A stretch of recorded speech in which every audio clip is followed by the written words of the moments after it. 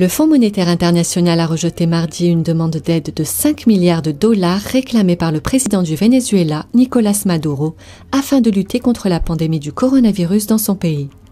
Malheureusement, le fonds n'est pas en mesure de prendre en considération cette demande, a déclaré un porte-parole du FMI dans un communiqué.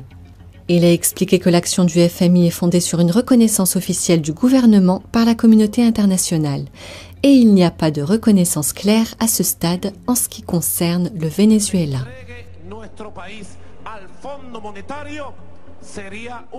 Pour Nicolas Maduro, qui vilipende régulièrement le FMI, l'enveloppe qu'il réclamait devait permettre de contribuer significativement au renforcement des systèmes de détection et de réponse apportés face à l'épidémie du coronavirus. En raison des sanctions américaines, le système de santé du Venezuela est à genoux. Les hôpitaux sont vétustes et mal équipés.